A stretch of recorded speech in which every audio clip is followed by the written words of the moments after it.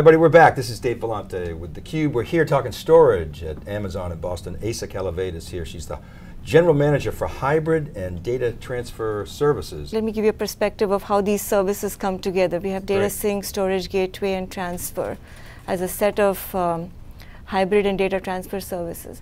So the problem that we are trying to address for customers is how to connect their on-premises infrastructure to the cloud. And we have customers at different stages of their journey to the cloud. Some are just starting out to use the cloud, some are migrating, and others have migrated, but they still need access to the cloud from on-prem. So the broad charter for these services is to enable customers to use AWS storage from on-premises. So for example, a storage gateway today is used by customers to get um, unlimited access to cloud storage from on-premises. And they can do that with low latencies, so they can run their on-prem workloads but still leverage storage in the cloud. Um, in addition to that, we have Data Sync, which we launched at reInvent last year right. in 2018. And Data Sync essentially is designed to help customers move a lot of their on-premises storage to the cloud and back and, back and forth for workloads that are involve replication, migration, or ongoing data transfers. So together, Gateway and Data Sync help solve the access and transfer problem for customers. Okay, and let's double down on the, on the benefits, because you, you started this segment just sort of describing the problem that you're solving, connecting on-prem to cloud, sort of helping create these hybrid in, environments, and, right. and so that's really the other benefit for customers. You're really simplifying that sort of hybrid approach, giving them high performance, confidence that it actually worked. Right, exactly. Uh, maybe talk a little bit more about that. Yeah, so with Data Sync, we see two broad use cases. There is a class of customers that have adopted Data Sync for migration. So we have customers like Autodesk who've migrated um, hundreds of terabytes from their on-premises storage to AWS. And that has allowed them to shut down their data center or retire their existing storage because they're in their journey to the cloud. Um, the other class of use cases is customers that have ongoing data that they need to move to the cloud for a workload. So it could be data from uh, video cameras or gene sequencers that they need to move to a data pipeline in the cloud, and they can do further processing there, and in some cases bring the results back. So that's the second continuous data transfer use case uh, that Data Sync allows customers to um, address. Right. right. Okay, you're also uh, talking today about Storage Gateway high availability version of right. Storage Gateway. What's behind that? So um, Storage Gateway today is used by customers um, to get access to data in the cloud from on-premises.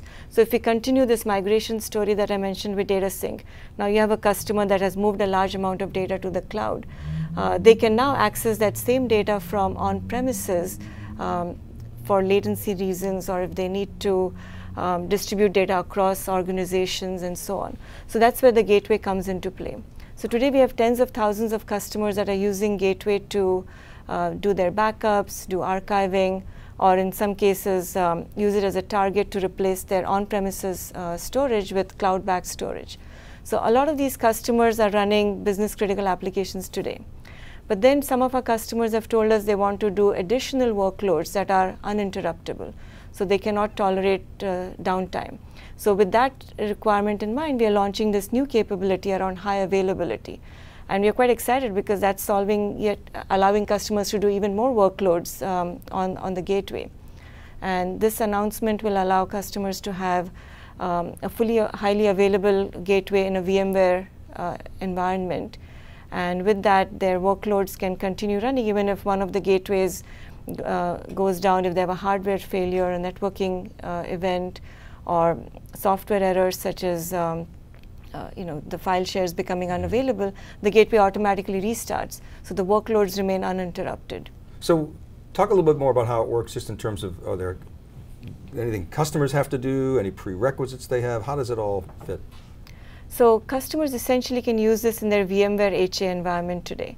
So they would deploy their gateway much like they do today. They can download the gateway from the um, AWS console. If they have an existing gateway, the software gets updated so it, they can take advantage of the high availability feature as well. And they, the gateway integrates into the VMware HA environment. Um, it, it builds up a number of health checks, so we keep monitoring for the application uptime, network uptime, and so on. And if there is an event, the, um, the health check gets communicated back to VMware and the gateway gets restarted within uh, in most typical cases under 60 seconds. So, so customers um, that our VMware customers can take advantage of this, and to, to them it's very non-disruptive. It sounds like is That's that right? right. That's one of the benefits. But maybe talk about some of the other benefits. Yeah, so we saw that a large number of our on-premises customers, especially in the enterprise environments, use VMware today. Mhm. And they're using VMware HA for a number of their other applications. So we wanted to plug into that environment so the gateway is as well highly available. So all their applications just work um, in that same framework. And then along with high availability, we are also introducing two additional capabilities. One is real-time reports and visibility into uh, the gateway's resource consumption. So customers can now see embedded CloudWatch graphs on how is their storage being consumed, what's their cache utilization, what's the network utilization, and then the administrators can use that to, uh, in fairly real time, adapt the resources that they've allocated to the gateway. So with that, as their workloads change, they can continue to uh, adapt their gateway resources so they're getting the maximum performance out of the gateway.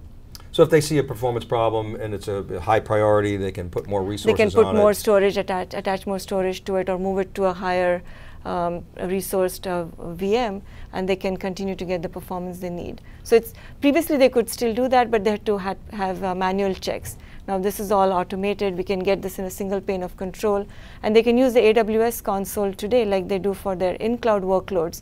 They can use that to look at performance of their on-premises gateways as well. So it's one pane of control. They can get CloudWatch health um, reports on their uh, infrastructure on-prem.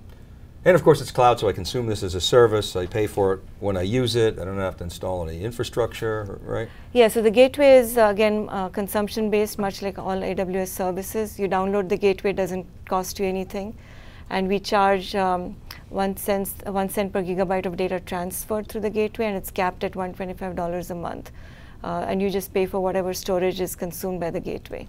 Well, it's of course, you know, when you talk to senior execs like Andy Jassy always says, well, it's, we, we focus on the customers. And sometimes people roll their eyes, but it's true. This is a hybrid world. Years ago, you didn't hear really much talk about hybrid. You talk to your customers and say, hey, we want to connect our on-prem to the public cloud. You're bringing services to do that. Asis, thanks so much for coming on theCUBE, appreciate it. Thank you, thanks for your time. You're welcome, and thank you for watching everybody. This is Dave Vellante with theCUBE. We'll be back right after this short break.